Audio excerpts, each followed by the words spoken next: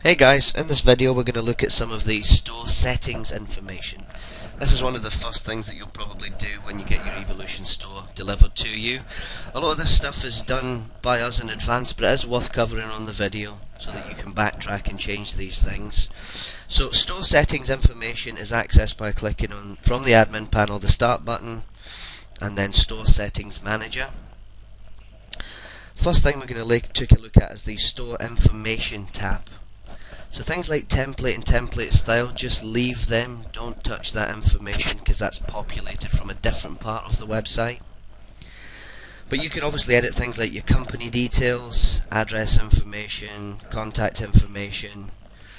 And then you need to make some choices about where emails for um, orders are going to be sent, returns, customer service emails. So you've got individual controls for all of those.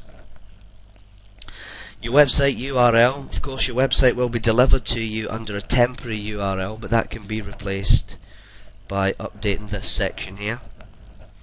And then the prefix for things like customers, users, orders, returns, and contacts.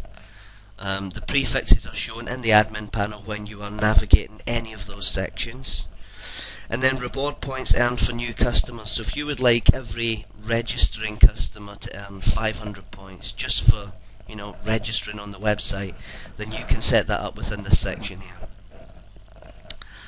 Um, beyond that, you've got the store settings tab. Again, most of the values in here are set by default, so there won't probably not be anything for you to do within this section, because all of those defaults are populated by us when the store gets generated. And then the last thing you can do in here is update your store logo.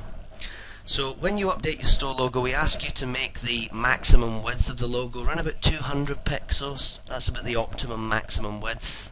So if you can work within that, it'll make the logo fit nicely on the website.